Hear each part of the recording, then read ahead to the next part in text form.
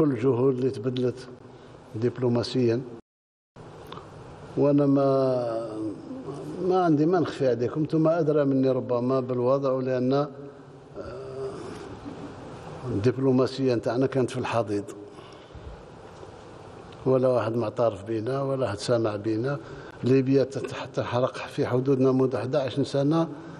نديروا روحنا ما شفناش. الساحل كيف إلى آخره. إذا اليوم الحمد لله استرجعنا كلمتنا وما نسكتش واللي يسالنا يجي يخلص.